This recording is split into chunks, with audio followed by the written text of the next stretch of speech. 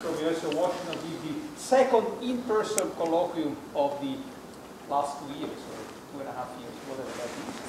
Um, and, and so uh, uh, the, David is going to be talking about G minus 2, which is some uh, really remarkable experiment that was done, I guess, for the first time in the 60s at CERN, and then was repeated several times with ever-increasing sensitivity at Brookhaven, and most recently Fermilab, which is actually what David is going to be talking about.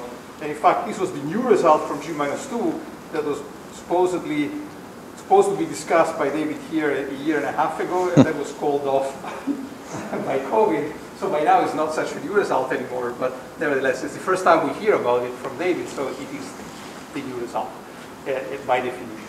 Um, so David is at the University of Washington, and, and, and, and he's a fellow of the APS and a Guggenheim Fellow. He has also discovered a number, large number of teaching awards, both from US of Illinois, where he used to be, and from the University of Washington, where he is now. Um, and I think, uh, you know, and he's spokesperson of the new G minus 2 uh, experiment. And David, take it away. Oh, thanks.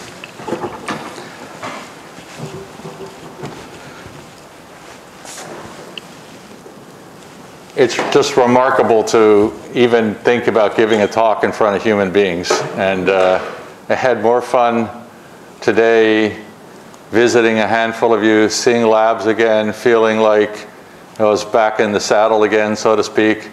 Maybe you haven't had so many talks yet yourselves, and you know maybe it will also be a different experience for you. Listen, we're not a large group of people. Feel free to shout out and so on if you have things that uh, are of interest to you as we go. It's a complicated experiment. I'll try to give you a nice fl overview flavor of what we were up to and try to answer specific things. So, you know, one of the things is, woohoo! we're in person for once. Even with masks, it's okay, I think. I'm going to tell you this story. It's actually a six-month-old story, Giorgio, not a year and a half, so it's not so bad.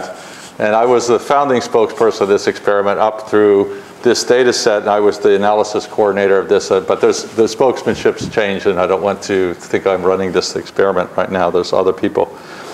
So let me just start off very generally speaking, uh, colloquium style for a moment. You know, we all know the standard model of particle physics uh, represents a great uh, human achievement, right? And we see these beautiful pictures like that. Why is this true? We know all the particles, we know the bits and pieces, we know the forces, uh, we know what we call the rules of engagement between these particles.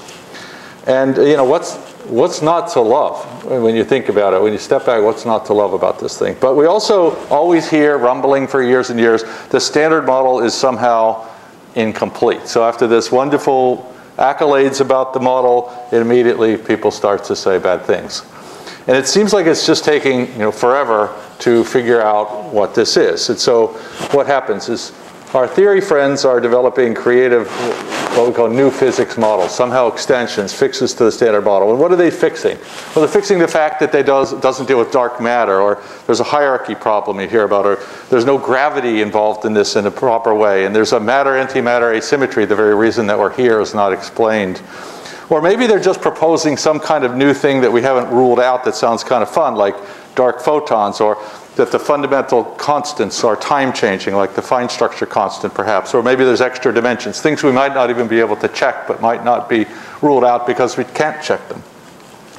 And as experimentalists, I view us, I view us as basically detectives. So I look at these detective shows and we're trying to solve a crime, right? We're trying to find smoking gun evidence that could either rule out these suggestions that are being made or promote them up. And ruling out, just like in a crime scene, going around and finding out things are okay is also a very, very important contribution that most of us in experimental physics end up making. We say there's zero here, it's not there, we don't see it there, and so on. And that's not bad. People should not feel bad about that.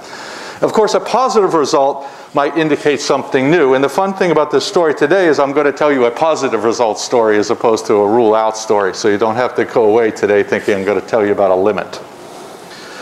So how do experimentalists go about this detective search work in the world of particle physics? And I like to uh, uh, think about it this way.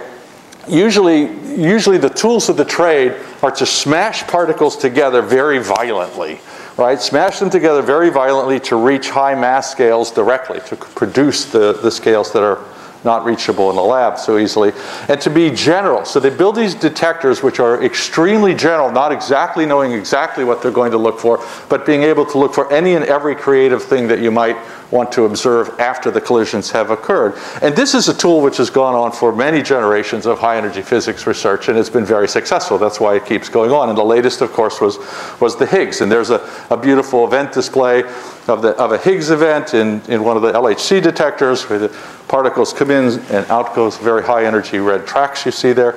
And these things make these kind of cartoons like this, um, which is also fun because the public really enjoys sort of seeing these things as well. So arguably this Higgs, though, that was discovered completes the standard model. We have not found something wonderful there that is beyond the standard model. It's the last little piece of it. And so what tools do we use to search beyond that model?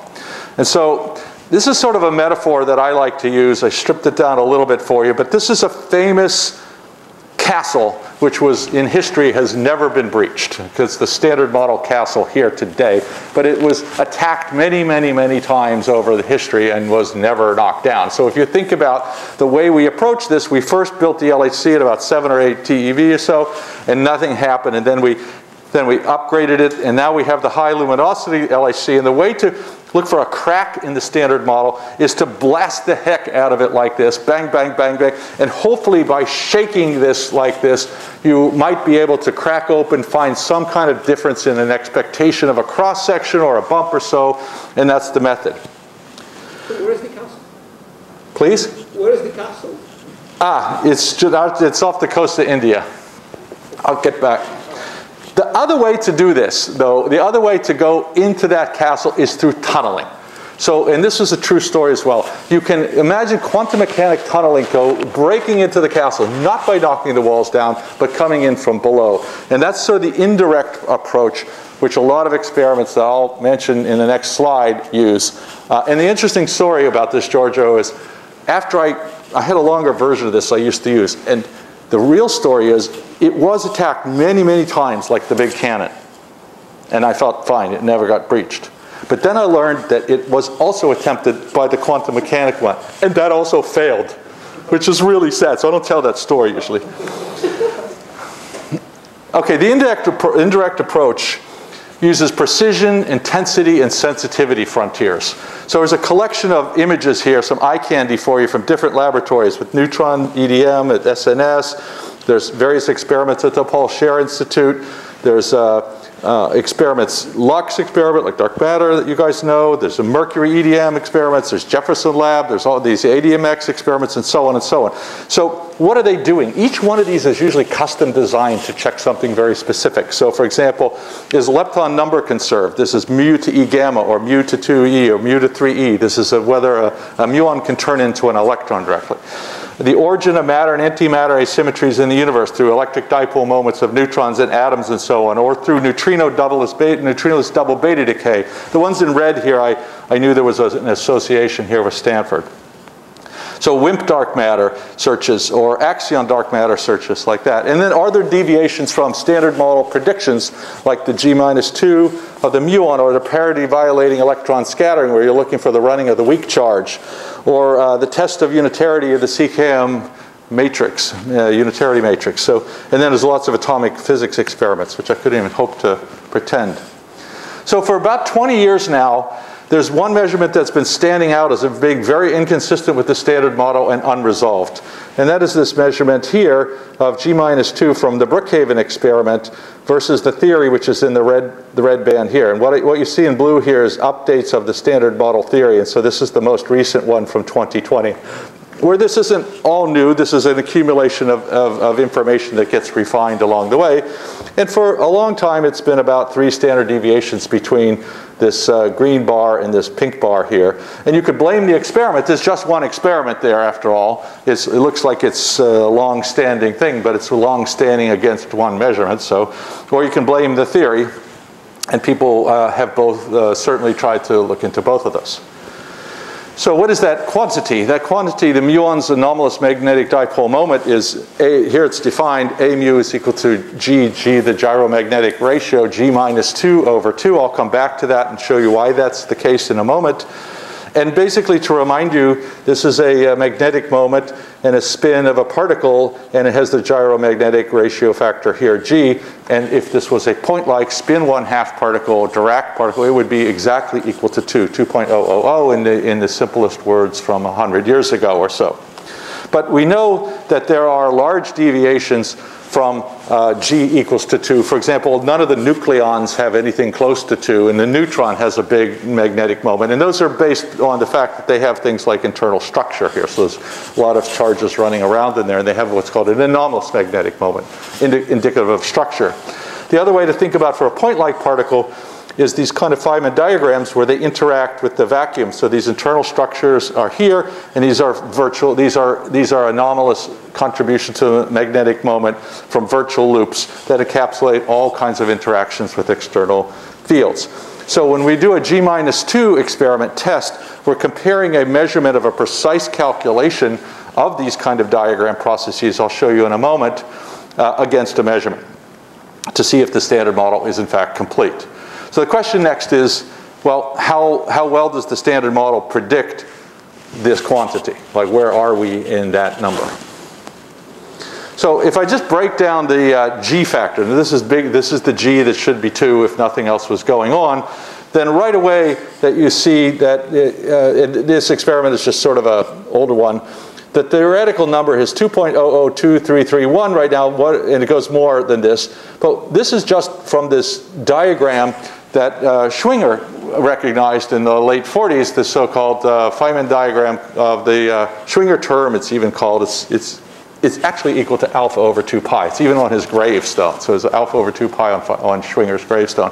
And that contribution is this number. This is this one part in about 850 correction from the, the virtual exchange of a photon. So you're going to see a line like that. That's a muon in a magnetic field. That's what the little tadpole blue is uh, in yellow there. And you're seeing a radiative uh, correction. So it gets more complicated than that. Through the decades, one has figured out higher and higher order quantum electrodynamic corrections. And as of a couple of years ago, the picture on the right represents the end of 12,500 calculated diagrams to fifth order, which gives you digits way beyond what we would ever need for this experiment. They're very useful for the electrons G minus 2, but it's much more precise than, than we need here. The next thing that comes along as you work your way into the precision digits is if you imagine the same diagram that you have here, and you might remember this, this radiated photon can make an E plus E minus pair. It's called a vacuum polarization insertion. And now instead of putting an E plus E minus bubble in there, put a pi plus pi minus. It has the vector components of a photon there. And that's what this mess is here in the blob. And that blob you can't calculate. So as soon as you get to that point, you say, oh, it's it's now it's a hadronic thing. I can't do the perturbative calculation that allowed me to calculate that diagram. So that has to come from a different source. And that comes from a recipe which is well known for many, many, many decades, which is a data-driven recipe.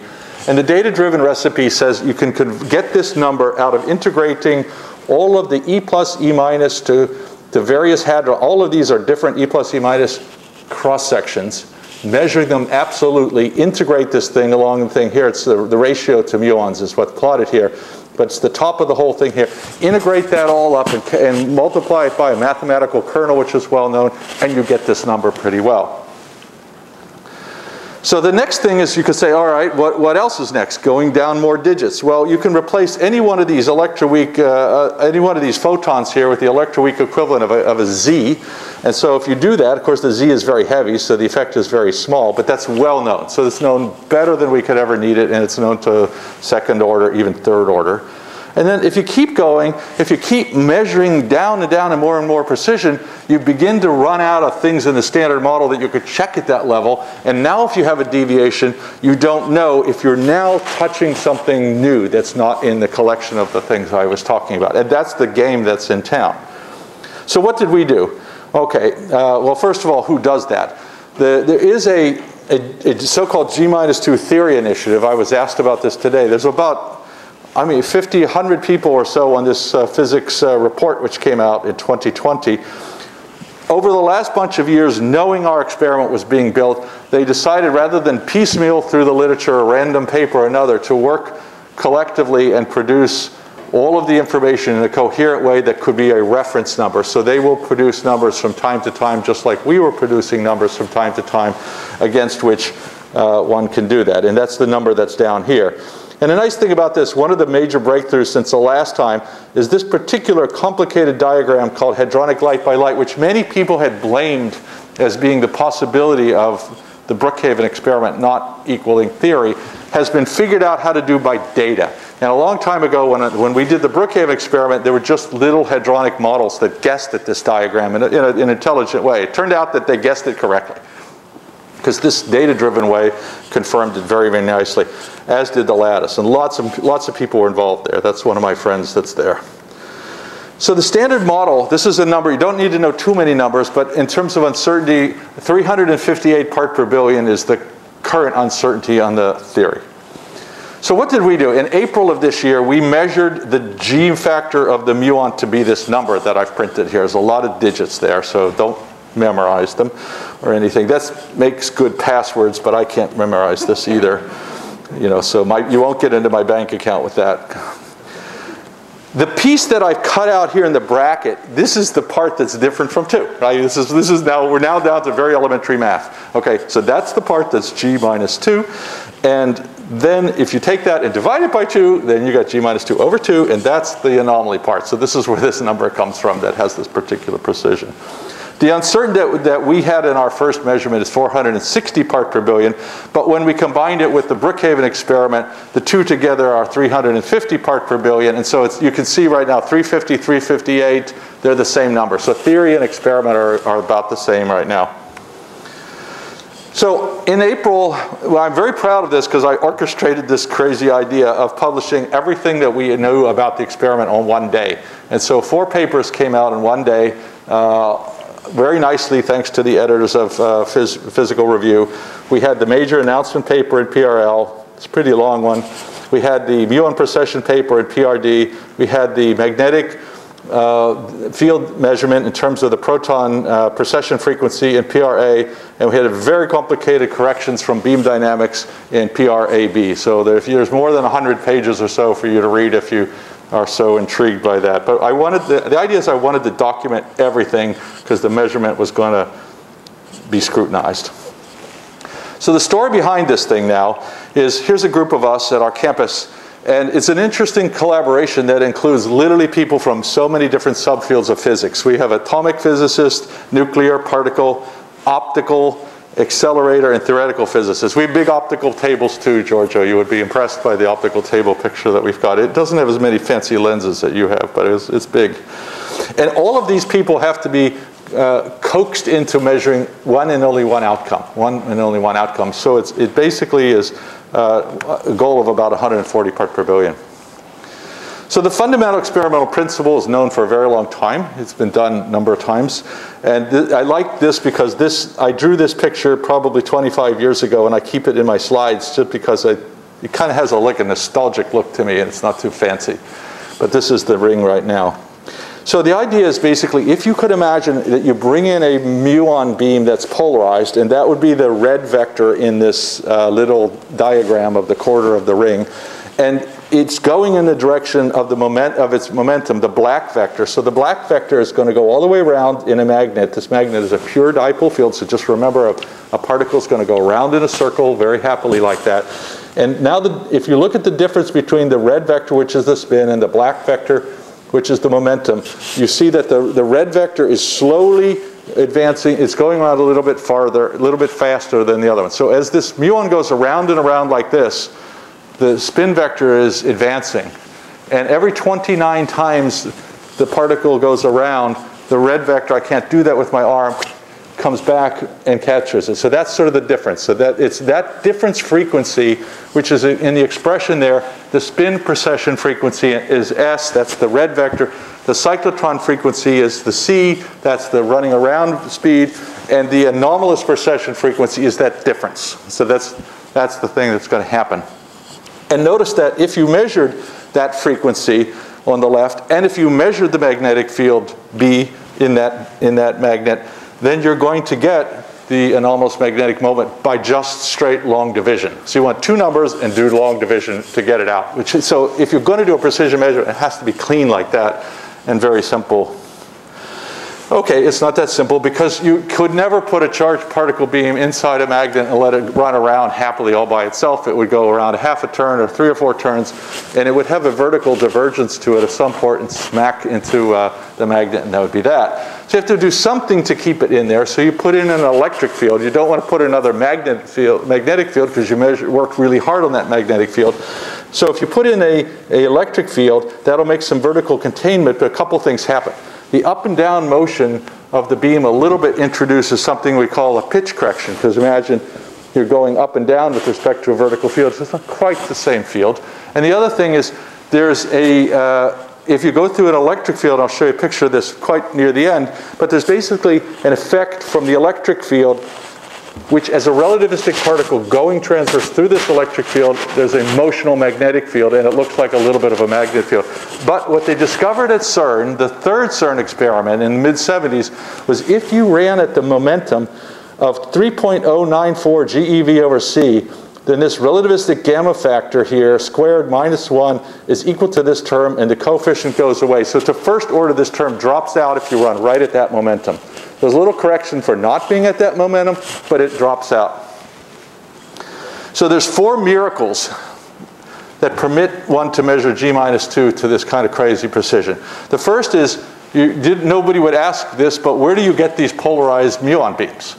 You know, polarized beams in physics are not usually easy to get. And the answer is you get it for free because you get them from pions which are naturally producing back-to-back -back decays, as you see in the diagram there, with helicity conservation, produces a muon which is polarized. And so we end up with about a 97% polarized muon beam in the direction of motion. So that comes for free.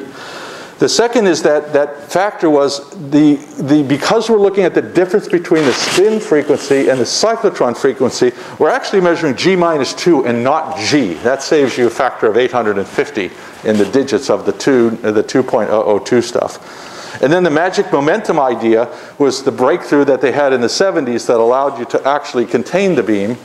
And the last thing I haven't mentioned yet is how do you know where the spin is, actually, where, what is the polarimetry that tells you where the spin of that muon is. And that comes again for free because the muon decay is, is parity violating. And it's parity violating in a way that encodes, encodes the anomalous precession frequency directly into a measurement of the, uh, and directly into an energy spectrum oscillation, which you see in sort of a wiggle plot here if you have detectors that, that are measuring particles of a certain energy.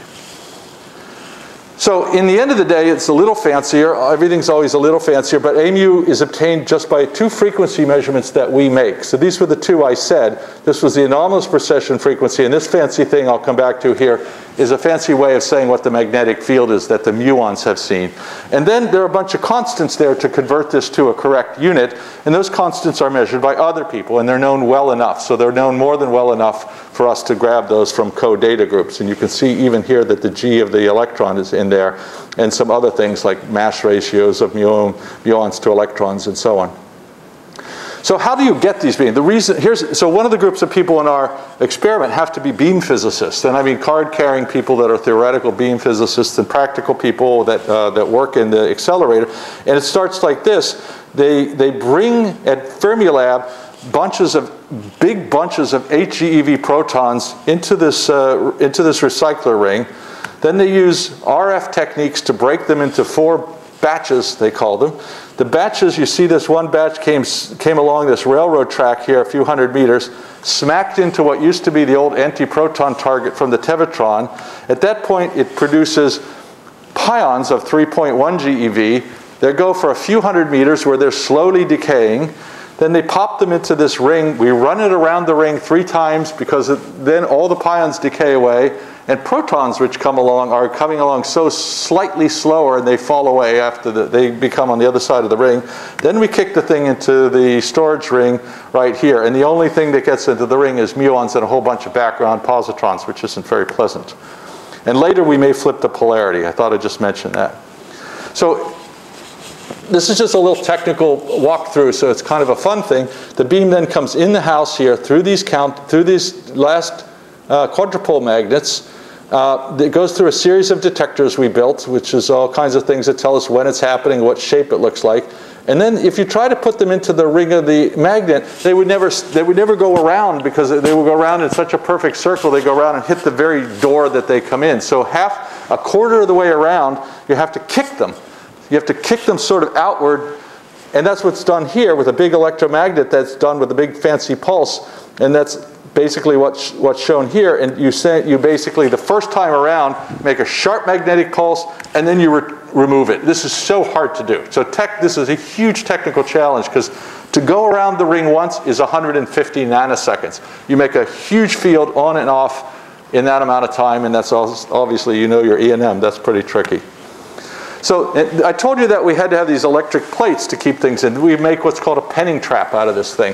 And you can see up here where my mouse is, there are quadrupole plates everywhere where the yellow things are painted. Imagine that these go the whole way like that. And they do a good job. You have a positive voltage on the top and bottom plates, so anytime a positive particle goes up, it's kicked down and so on and so forth.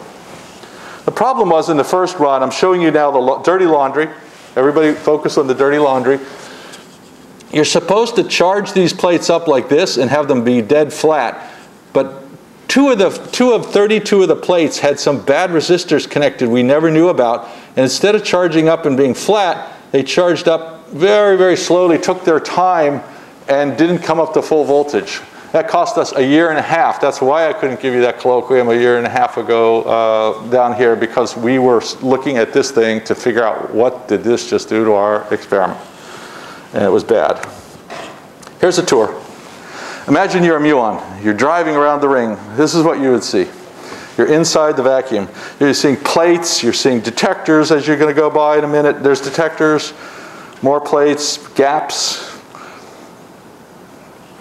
lots of stuff. So there's rails in there. There's a, uh, a whole trolley that's going to drive around in there from time to time. And this is what you would see if you were able to visualize where those muons are. This is actually a measurement. We're able to measure this. So this circle represents something exactly this big. This is the, what we call the storage volume.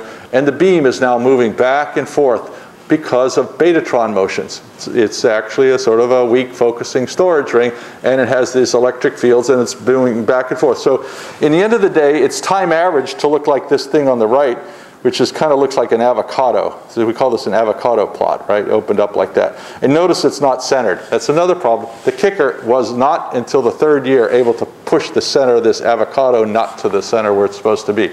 And that makes for a bigger correction for things.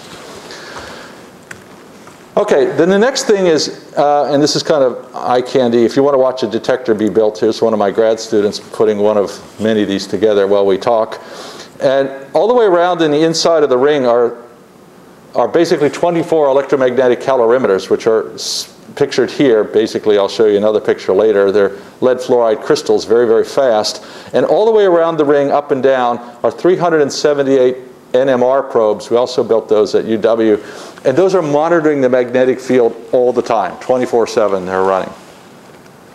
So the precession frequency, this was the, remember the, the wiggly thing that I did with my arms walking around like that, is measured as follows.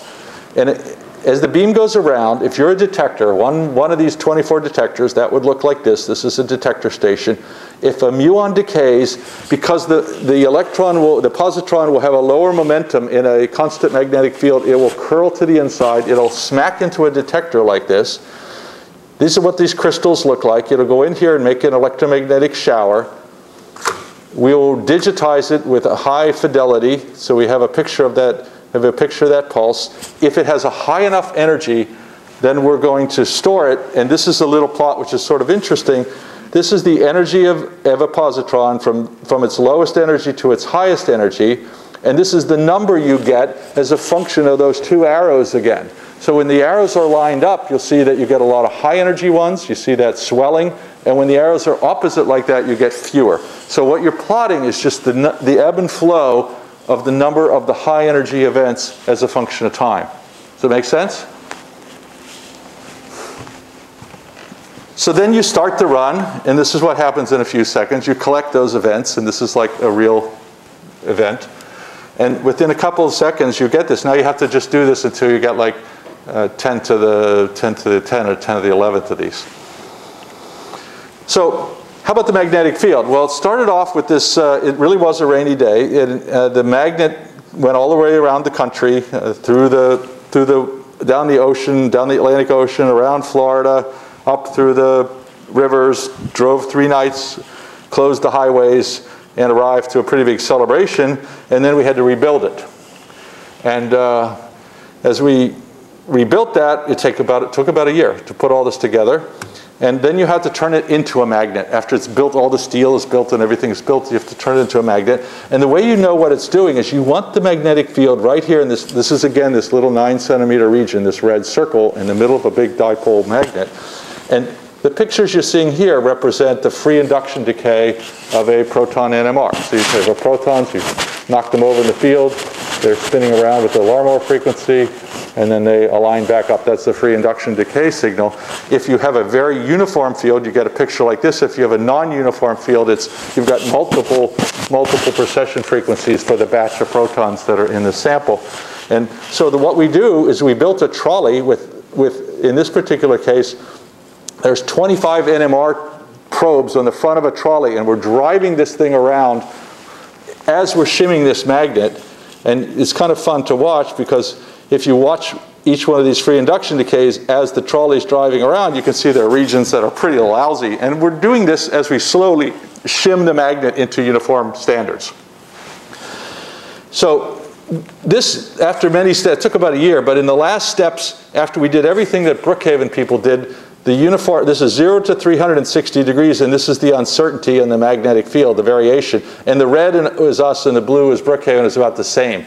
So then we invented a technique where we used five, something like 8,000 tiny laminated pieces of iron to custom tune the beam locally. And then we ended up with this, which is sort of fun to watch. As these things got glued inside the poles of the magnet, they suddenly completely changed the quality of the field and so the red is also, so we ended up making a field which is three times more uniform than Brookhaven, which is very important. It goes right into all the systematic errors. Okay, so then let's talk about the data set for run one. And this, this phrase is always good. Everyone always likes to say in precision physics. To trust is good, but not to trust is better. And maybe you can say this in Italian for us. Uh, your turn. There you go. I wonder how you translate, you know, you translate it the same way. well, how do you do that? Well, you have multiple analysis teams doing things, many calibrations, alignments. I mean, it's just, it's a tedious, tedious life to go through this, but you have to do this work, okay? So now I apologize for this expression right here, but it, it is not, I don't, I hate little expressions in the colloquium, but this is not a, a mathematical expression. This is long division. So it's not going to be anything hard.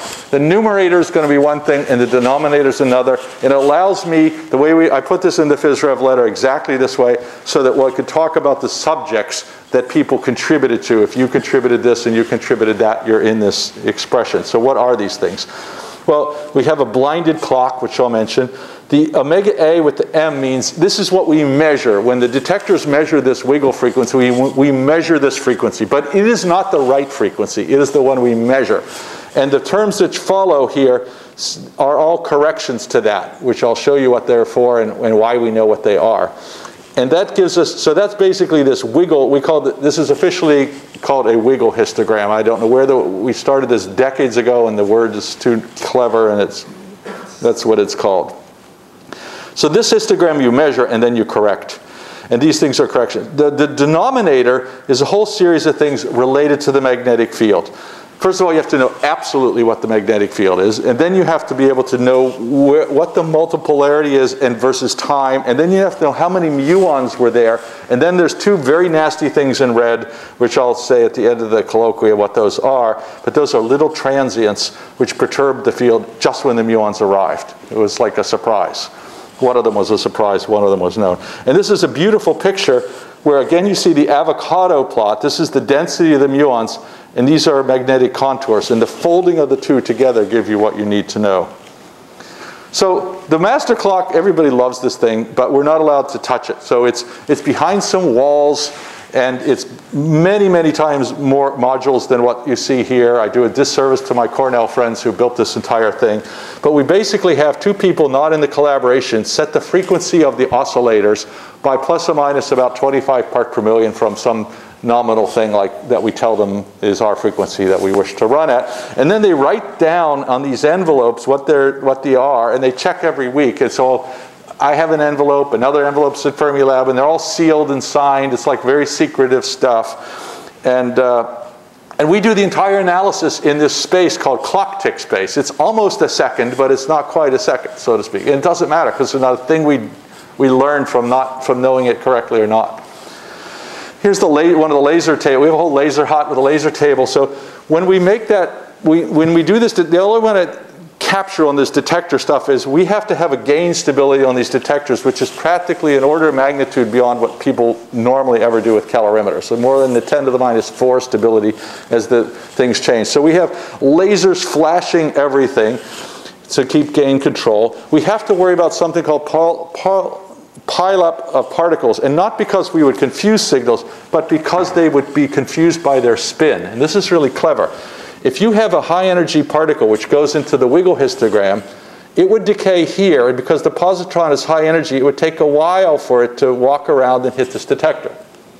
But if instead two particles of lower energy colluded to look like a high energy particle, they would have come from a much closer radius because they were lower energy positrons which had a sharper arc. So they had a shortcut.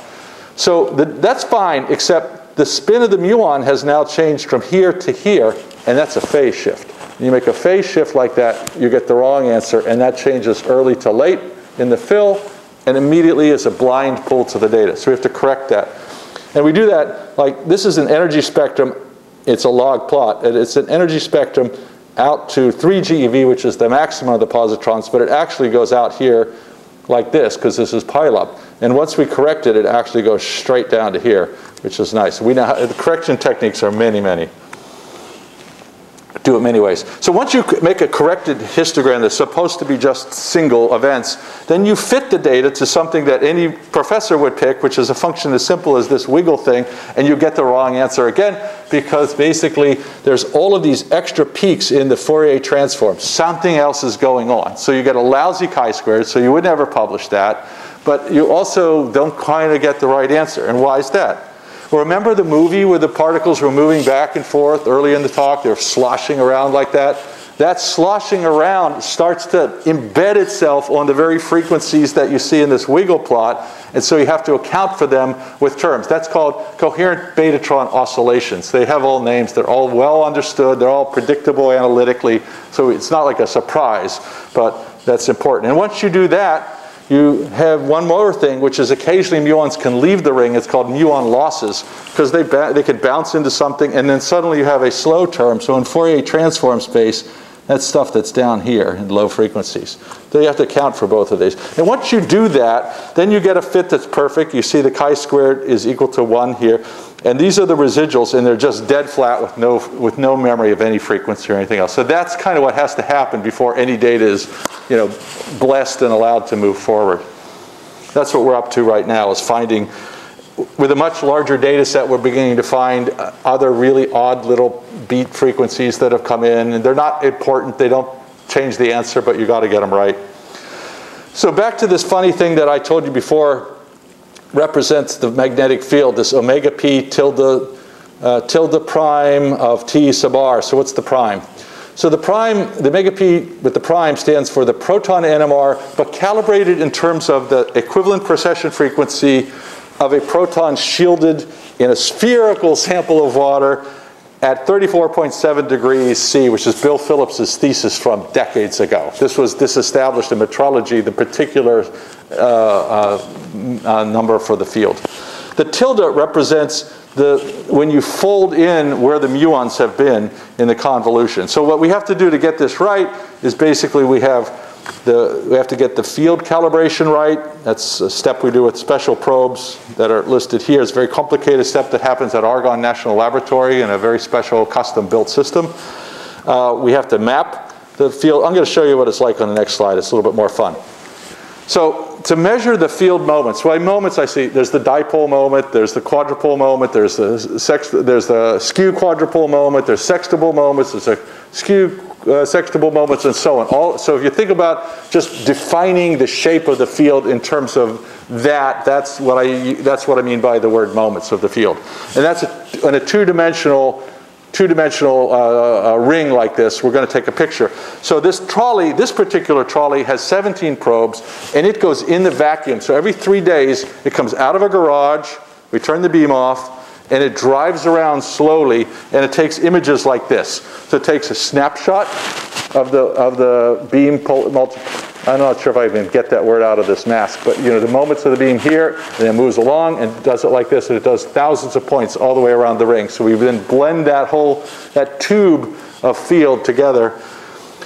Now, how do we know what happens between the first day and the third day, or the fourth day, or the seventh day? Well, we're running these probes in between time these fixed NMR probes 24 7 and we tie them together so that eh, eh, here's one day and here's three days later. And this is what in run one, this is what the dipole field was doing. It's actually changing quite a lot.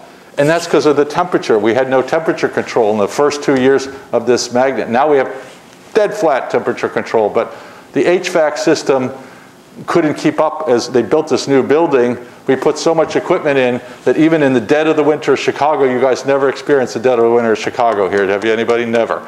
And you have you experienced the dead of the winter of Chicago? Yeah, not here the heat, the heat never came on for a year and a half in that building. That's how, that's how much heat we were generating with our electronics. I know. And then eventually this gets put together into this nice picture that you see, and I showed it to you before. So back to these little corrections, the beam corrections up at the top here. So there's one, these are well, the first two are totally well known from the last two experiments. This is called the electric field correction. If you, if you had the entire beam sitting in the middle of a quadrupole electric field, there would be no correction. It would have the magic momentum and so on. But the, any beam that's off the magic momentum is feeling the, going through these radial electric fields, and you see the little cross product here. And so the, the, the arithmetic adds up to a pretty big correction. This is larger. 489 is larger than the 350 or so, or part per billion kind of eventual claim that we have. But we know this pretty well. But nevertheless, we're still working hard on this because this is, we wanted this to be more like 20 and it's 50. And it depends on where the beam is. This is the projection of the beam. So this is the beam, we measure where the beam is in here and that gives us this correction. This is an exaggerated, super exaggerated view of this little pitch thing which we know very, very well. You can see the uncertainty on that is really tiny. And that's just the term that's uh, the fact that we really got a little bit of vertical oscillation. So those two are known. Then we ended up with two surprises. And the surprises, let me, let me just walk you into, uh, uh, for a moment into a little bit of a surprise. It's not too hard. So if, if you had an expression for the number of positrons, n of t, and it has these normal things, this is just the exponential decay, and then 1 plus a cosine omega t plus a phase, this is the, the simple fit, as I called it before. But imagine if this phase, what is this phase? This, what does that mean? That means that is actually representing, at the time the beam comes in, the average angle of the spin of the muons as they start. They, they, they, they do a very big, broad range, but there's, the, there's an average to that. That's what the fit would find. And that, that fit, that phi zero stands for the time when the oscillation in that wiggle plot is at the top, right? And then, like, so think of it just as the maximum of that, for the way we could define it that way anyway.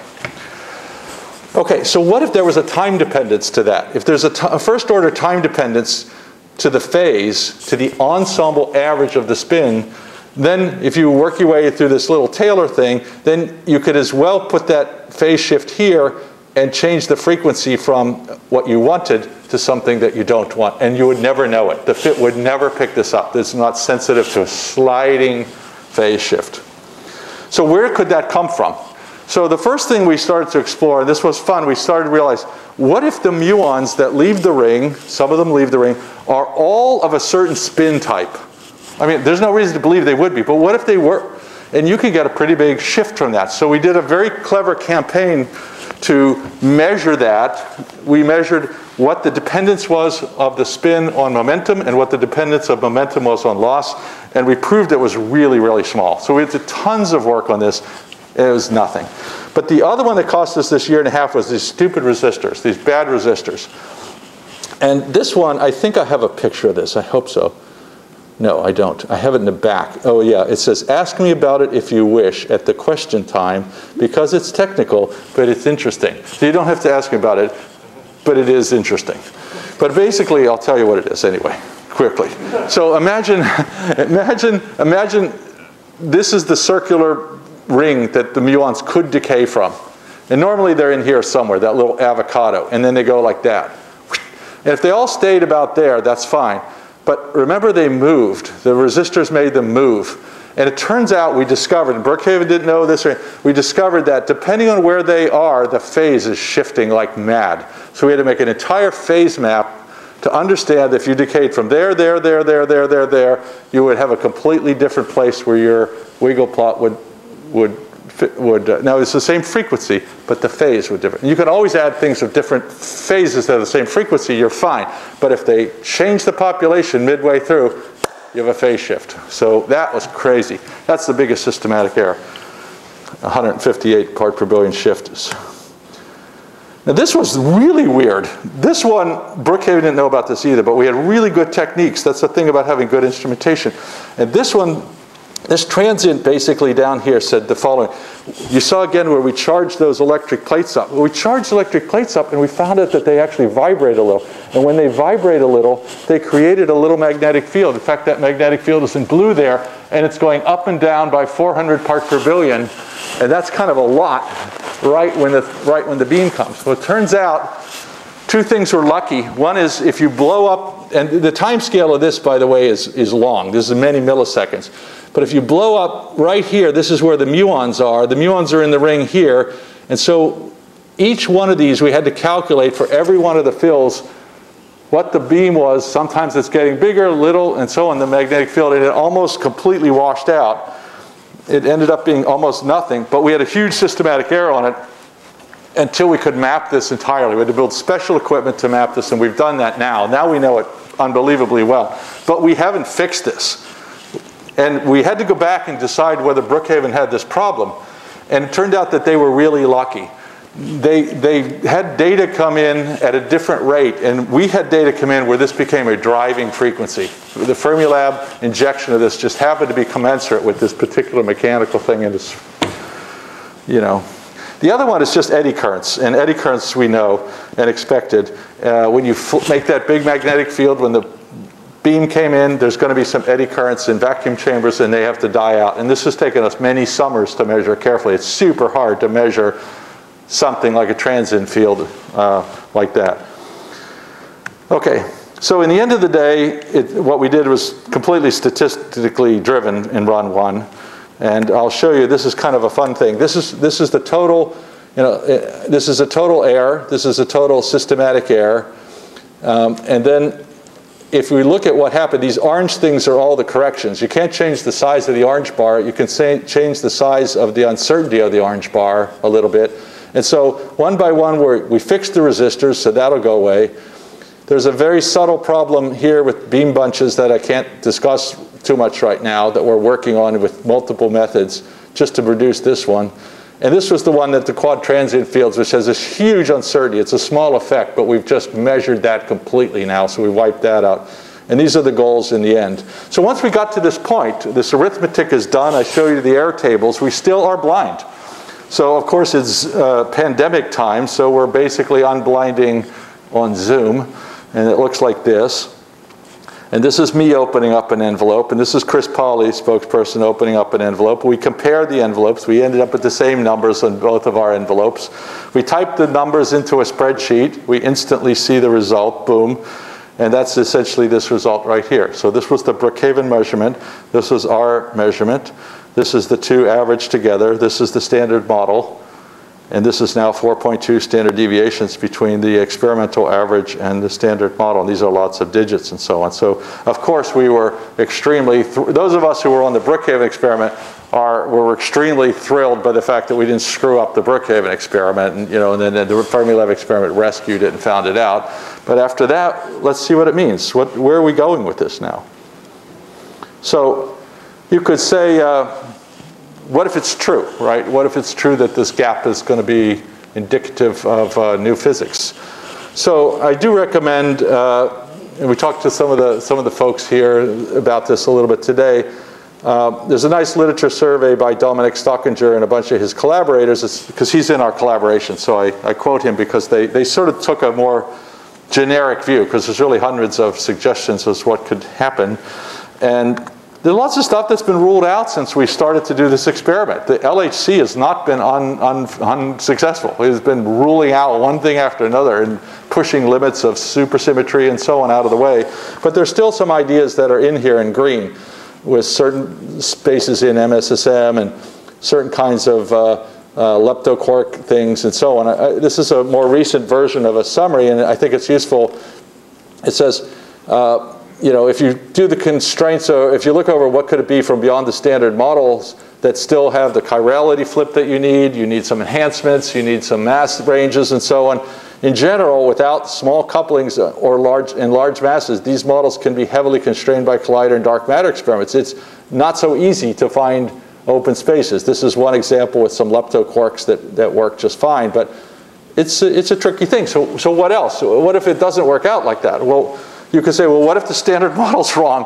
Right around the time that we uh, published these numbers, there was a brand new lattice calculation, not experimentally driven calculation of the hadronic vacuum polarization. And here, here again is uh, the white paper number. This is the standard model number here that we're, we're quoting. But over here was the new number that there's a bunch of these lattice calculations, but if you want to be picky and you want to cherry pick or something, you could pick this really precise one that started to come out now that's being looked at and say, well, what if it was over here? Here's the experiment. So this is obviously crushes those two together. If you push these closer and closer together, then the mass scale is different as well for these beyond the standard model things and so on. And of course, the stakes are higher, and it'll be another couple decades of 2 sigma. Before I finish, I just want to acknowledge uh, that in my group, these are all the people that were in my group that, uh, that worked on this experiment. These are, uh, these are all the grad students all along here, so they get top billing because they built everything and did everything in the world. These are the postdocs that are doing lots of stuff, NMR probes and detectors, and this guy's running the operations now. This is a couple faculty, and these are research scientists, again, building SOAN. Um, this is our group uh, at Elba when they had a collaboration meeting. And uh, you know, my, my real thought is at this point we know that the Brookhaven experiment doesn't look wrong.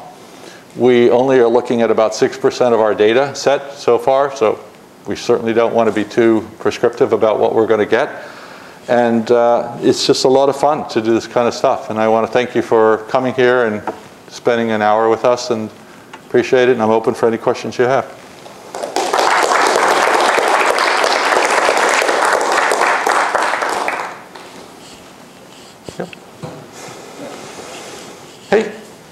I'm just interested in, um, you said you were going to open the box in 2019 and you decided not to. And that was triggered by uh, this, this uh, one of these two. This kind of stuff here. And so what was the, This uh, thing, this thing is really so hard. So you had, you, you, you saw that stuff going on and uh, it was bigger than you expected or? Well, it starts like this. You, you start to notice that um, this is the vertical width of the beam, and you see that it's going like this across the time when you think you're going to be measuring. You start to get concerned about that. Then you do, you get out all your Monte Carlo models, and this took a huge amount of computing time. You basically have to basically run G minus 2 from every grid square here from, and, and allow, and allow the, the muon to decay into the acceptance of the detectors. It's all an acceptance effect. It's where you are and how they have to arc and how big the detector is. It's a finite detector. If it was, if it was an infinitely large detector, this would go away completely, but it's a little detector that can fit in the gap of the magnet. And so this phase shift map folds in with this change of where you are. So I have, I've indicated here one and two. So if you decay at position one or two, you have a different phase. That's easy to see. Now if you have a whole ensemble that moves on average toward one, toward two, then you see a phase shift. And that's what's here in this third plot is a phase shift. Now you take that phase shift, now you know it because you've measured it. And we have lots of ways that we measure this. And you put that into the wiggle fit and you force the answer with that thing and things, now you get a different answer by having that in there. Is it like fortuitous that you discovered that, or? Well, we have smart people. I would say, I would say uh, the fort, I'll tell you, the fortuitous one is this one. It sounds tough, you know, like I, Well, the fortuitous one is this one, uh, this one. And, and this, is, this was set up because our, our folks in the magnetic field business decided they should, they'd like to be able to, NMR, by the way, is sort of millisecond stuff. This is all happening on microseconds. So how do you measure a field with a millisecond instrument when you, look, when you want to look at around tens of micros, a few tenths of microseconds? The answer to that is you do kind of a heterodyne, you time it. So you time it and then they clack like that. And then you, and then you build it up slowly as you sweep through this. So we developed a technique looking for completely different things, like 60 hertz or other, other stuff that the accelerator complex might be throwing at us in time with our beam. And we see this craziness here. You see these things right here. And so pretty soon that started in industry among the people doing it. Then we had to build special devices. This is PEAK. You have to be able to put an NMR probe inside a, a pulsing electric field and not blow it up. It would immediately blow up. So we had to develop instruments to do that. And, and eventually we've got trolleys and so on that have mapped that field all over the place. And lots of analytical models. There are lots of people who are out modeling mechanical vibrations and E&M this and that and so on. Nobody has a really good answer for what, it, what drives it. Everybody has a theory. So I was hesitant to say more. This is more fortuitous that we found this one. The other one, the other one was just going, what, what did this beam dynamics thing do to us? We better check. And then a few others, but yeah. So, Okay, so what I'm seeing here is an awful lot of theory. Which part? Well, the corrections, you have, you have, Ah. well, and, and I sort of, sort of a follow on to Mark's question. It, it, I'm a theorist, so I get nervous when there's a lot of theory. and, uh, and so, and so look, at, so when you went hunting for these animals, you were using your Brook, I think, using your Brookhaven results plus common sense to kind of hunt them down. Yeah. But, do you have any cross-check that you haven't missed one? Well, okay, that's a that's a good question, but um, e- we, yeah, and, and let me just tell you, let me back up and tell you some things about each one. And so this is why for this top these top C's alone, we have a very long paper published that talks about all four of those things. And the, and the why do we know they're right and what proofs have we done to prove them right? For example, we can do numerical spin tracking programs, which we do, which absolutely accurately give you exactly the same numbers here that we would predict. So we know that measuring this gives you that for the electric field correction and the pitch correction. These are well known. These are very, very well known from many, many decades. There's lots of papers in the literature about these particular beam things. This, this one was one of my worries that I came up with, and my grad students uh, and I knocked this out of the park. But this was just, this was more along the lines of your saying, what you said, which is kind of like, can you think of a really pathological thing? Okay, can you think of a pathological thing that could happen that would change the answer? And this is a pathological thing that could happen that could, if all ducks lined up pathologically, we would have had a 150 part per billion shift. So we created a program where we measured things, you know, where we basically changed the magnetic field of the magnet by plus or minus 0.6%. It's like crazy. And then we could measure exactly the momentum distribution and the spin distribution. Then we did another thing where we only brought in high energy muons and low energy muons, and we watched which ones left the ring at different rates. So we combined all of those together, a beautiful thing that my student did, to show that in the end of the day, it was more like 10 part per billion or 5 part per billion shift. It wasn't 150, because all of the muons were leaving the ring, whether they were one spin or another. There, wasn't, it didn't care, but it was a, it was a check on pathological things. The, um, all the, all the things that we're uncertain about, the uncertainties are greatly exaggerated to encompass any uncertainty at, at all. So for example, the next things in there, like this phase acceptance thing, I can only tell you is a, a year and a, literally a year and a half and 20 people or more working on this particular modeling of this. And that was just because in that we only had those resistors bad for that runs. But we're still working on it because it's taught us something that we didn't know before. We better understand it even if they're solid resistors. So we're doing a lot more work on that all the same. Uh, the field transients is special teams that have, you know, from our, our magnetic, our atomic physics people have built magnetometers, Faraday magnetometers that go through the thing that measure the rotation of the polarization of the light inside a field. That's what we use. So we have to build those. We have to do those in the summers when there's no beam. We have a lot of work that we do that. Regarding fitting these frequencies, it's it's almost impossible to get the wrong number. Uh, we could throw out all those fancy terms that makes the chi-squared good. You still get the same frequency. The fundamental one thing about measuring frequencies is they're really rugged, and they're pretty independent of all the other things that are going on. They don't. You can get a bad chi-squared and still get the same same frequency fit. So I think we're pretty good in that. We have a lot of eyes on the problem, and we have a lot of skeptics in the collaboration. So that's also useful. Well, observation is what you know. I mean, I'm telling you things you don't know. What always gets you Yeah. is what you didn't think of. and you, I, you know, this story uh, looks uh, really good to me uh, from looking from the sidelines because you spent so much time doing it, Mm-hmm. hunting down all these animals.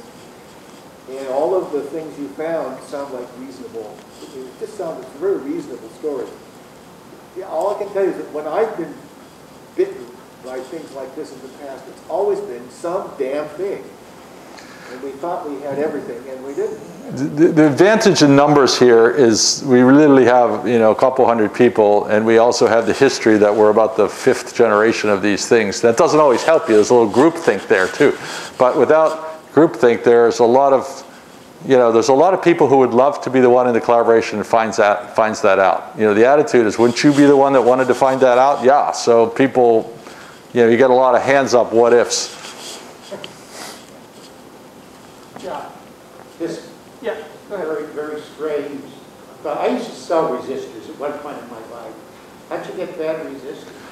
We didn't. We made them bad. We so 28 of them came from the company, per, but they didn't give us all 32 on time. So we had to install something. Four more had to be installed. So how do you make a resistor? You could, you know, if you don't have this one high voltage resistor, you can get like five little ones that add up in series. I remember that from teaching this thing. I can glue them together. You know, you can solder them together. They did this in a tube. When you looked at it, you were horrified. We none of us knew this happened. Believe me, none of us knew this. You know, some group that built the quads did that thought it made sense. And they, of course, worked in a static situation. You know, it's the fast ramping that you couldn't check that in.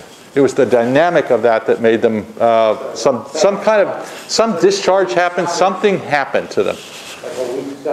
Like a weak solder. Yes, Exactly, and we don't know what it was. And we had, in fact, the only thing we had to do, was really weird, when we did this muon loss measurement, I told for the systematic, we actually had to go put them back in, because we did that a year later, and created the same conditions to get the muons to be lost, because uh, that made the muons get lost, by the way. Right now, there's no muon loss correction anymore, because the muons don't get lost essentially at all on it, like they did in, the, in run one, they were just, What's the question up there? There was some other question. Oh, I don't know. No? Maybe not, sorry. Uh, Leo? Very impressive, uh, all, all the time and effort and people, congratulations. thanks. Um, One thing, two, two things. One is you quoted the magnetic fields uh, uncertainties in parts per billion, but what was the magnitude of the field that you 1.45 Tesla. And, and they all quoted in hertz, by the way. Of course, you know, it's a funny translation uh, between, uh, between the field group, but everything's done in, you know, it hurts. Yeah, and so we've also got not very many measurements, accurate measurements of the electron G minus two. Only been a, The electron G minus 2, yeah, that's known to 0.28 part per trillion. but it's only been measured, you know, measured by Gabrielse and. Correct. Uh, Is, does this say anything about No, the other way around even, they, they- they know it, you know, thousands of times better. And so if you ask yourself, where do you get the fine structure constant from? Until the fountain experiments of recent years, the fine structure constant literally comes from trusting those Feynman diagrams I showed you earlier with the measurement of G minus 2 of the electron and coming up with alpha. But that, that's known from our point of view way down in digits we don't care about. So he could be wrong by 20 sigma and we wouldn't know it. It wouldn't affect us yet. We're, we're pretty far from that sensitivity. Yeah, so I'm- that's not what I'm saying, but does it say anything about the physics? No, because until, until an independent, and we thought this was true for a while, it was exciting for a little while, when the first uh, fountain measurement came out from Berkeley, it had a deviation of the G minus 2 of the electron in the opposite sign of ours by two standard deviations. And so theorists were quickly coming out, what could make that this sign and us that sign? And then the Paris number came out exactly the opposite, 3 sigma the other way or so. And so the electron, G minus 2, the electron was sitting right in between them, if you want. And everyone's just like put their cards down for a while until uh, it gets done uh, better. So we're, they're in this space of, you know, such high precision, such delicate experiments that something can bounce around quite a bit for them. Yep.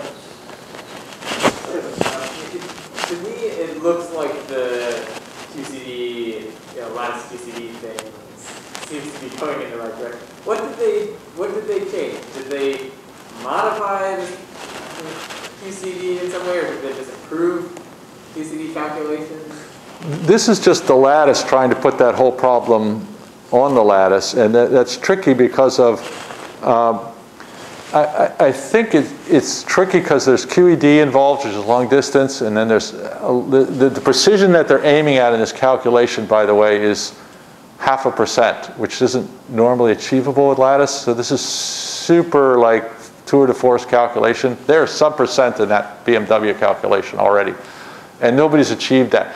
In the hadronic light by light calculation, which is where a lot of the lattice started for G minus 2, all we ever asked them to do is, can you give us a 10% number, 10, 20%? Just prove that those hadronic models aren't nuts that people had used.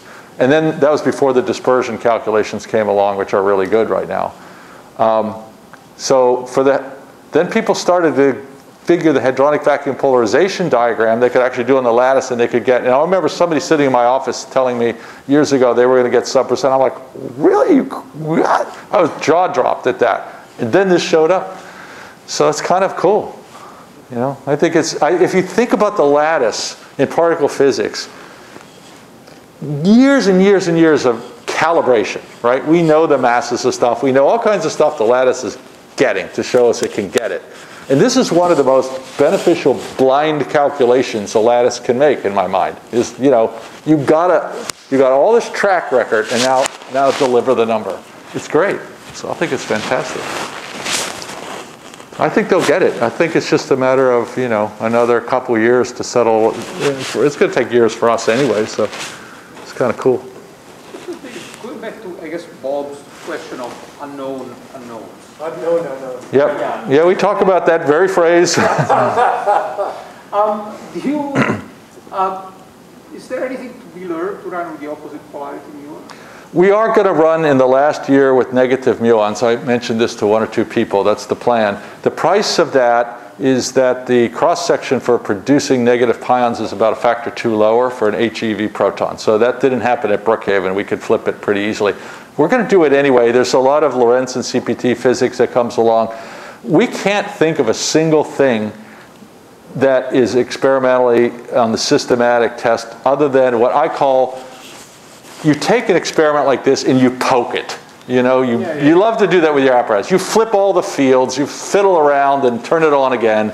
And that's the only systematic you're checking is called operational systematic. It doesn't have a name. It doesn't, you're not checking one thing another. Uh, It, it, so it's, to my mind, I insisted on using the robustness, uh, the robustness of the technique as opposed to checking the technique. because you're not checking the technique. The technique you believe or you wouldn't be publishing. You know, the technique is, is that way. And how much more data you need? Also, not only number of protons, but number of years or minutes. Well, we'll just run one running year there, and in one running year, we'll get four times as much negative muon data as Brookhaven had, which is factor two. So that's okay. We're trying to get 20, 20 times the data set of Brookhaven, and we're, we're about 12 right now, and we're on our way uh, on a slope upward. It's tedious. It's just 24/7 and the, you know the production team is just we have many petabytes of data on tape. I did I told some people the raw data rate of this experiment is is uh, 25 gigabytes per second per second, and we have to we have to filter that down with online. We have farms of uh, you, you know we have farms of processors that are just uh, knock that down to about 300 megabytes or so a second that we store. It's And- funny, actually, you are an accelerator-based experiment, but you accumulate data linearly, like a low background experiment. Correct. Completely like that. Where, you know, Completely right. is always an order of magnitude more data. Completely correct. It's very strange. It's very much the case, so we have to maintain conditions. So quality control to add up data is a huge team of people that's constantly, you know, sparks. People talk about high voltage sparks. Boom, all the time. We have to be watching out for little, little trickles of nonsense like that. So it's tedious. It's super tedious. You guys were very sweet to come and listen and to Alive Cloaker. Thank you very much. Thank you. Appreciate it a lot.